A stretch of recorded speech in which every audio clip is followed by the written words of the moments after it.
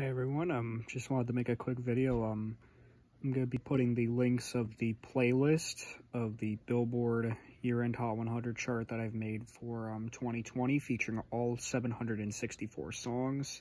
And I'm also going to be featuring the spreadsheet that I tried to put in on the playlist, but couldn't put it in, but yeah. So here's a separate video telling, go check it out. And yeah, just a quick video. And to everyone else, um, and of course, everyone, um, Merry Christmas and Happy Holidays. It's a little bit of a Christmas present to my viewers. But yeah.